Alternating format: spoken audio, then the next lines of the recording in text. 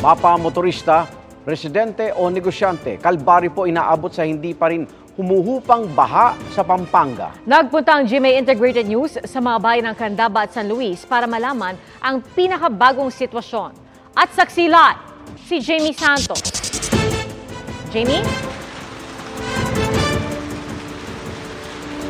Pia Iga, nakalabas na ng Philippine Area of Responsibility ang bagyong Falcon pero nakakaranas pa rin ng pag-uulan dito sa Pampanga. Kaya naman hanggang ngayon lubog pa rin sa baha ang siyam na barangay sa bayan ng Candaba at ilang barangay dito sa bayan ng San Luis. May ilang bahagi pa rin na baha sa bayan ng San Luis. Dito sa barangay Santa Monica, lubog pa rin ang simbahan at covered court. Apektado ang daloy ng trapiko dahil sa abot kalahating gulong na tubig. Ang mga negosyo hirap sa sitwasyon. Ah, bagsak po, alang ano, alang benta. Oo, pinasok na ba kayo? Opo, hanggang first step ng ano, hagdanan. nakaangat na po. Opo.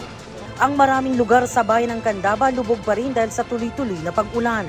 Kahapon nga raw, ayon sa Disaster Office, lahat ng 33 barangay ng Candaba may tubig. Ang Candaba raw ay catch basin ng mga tubig mula sa Karatig Bayan. Sa ngayon, ang pinakamalalim ay nasa barangay San Agustin na umaabot sa 13 feet. Kaya bangka lang ang nagsisilbing transportasyon sa lugar. May ilang kalsadang hindi pa rin madaanan kahit ng malalaki at matataas na sasakyan gaya ng truck na ito na napaatras. Maging ang crew cab ng GMA Integrated News, napabuelta ng makitang napapalibutan ng tubig ang Baliwag Candaba Provincial Road.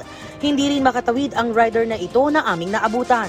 Eh baka po malalim eh, kaya hindi na po kami tumuloy. Natakot kayo, sir? Opo. Isa pa sa pahirapan para makarating sa Candaba ay ang traffic sa NLEX dahil sa baha. Pinalulusot sa pulilan ang ibang motorista. May naitala rin daw ang MDRRMO ng Candaba na sira sa kanilang mga dike. kasalukuyan po itong uh, ina-assess po ng ating Municipal Engineering Office kung uh, gaano ba talaga, kung gaano kalawak yung uh, napinsala ng itong ano, ng pagbaha. May labing limang bahay daw na partially damaged dahil sa baha. Nasa 20 families o 86 individuals ang nananatili sa evacuation centers. 4,000 hectares naman ang palayan ang nasira na umaabot sa 118 million pesos ang halaga. Meron din daw na naitalang partial damage sa mga palaisdaan sa bayan ng Candaba na umaabot sa mahigit 31 million pesos.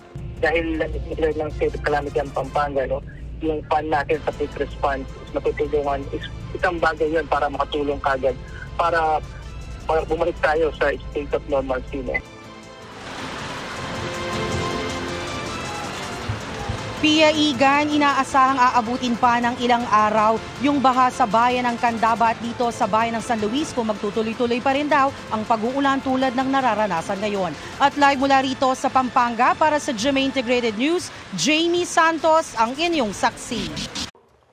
Mga kapuso, saksihan ang unang pasok ng mga balita. Maaaring mapanood ang saksi at ang iba pang GMA Newscast sa youtube.com slash GMA News i-click lang ang subscribe button. At sa mga kapuso abroad, maaari po kaming masubaybayan sa GMA Pinoy TV at www.gmanews.tv.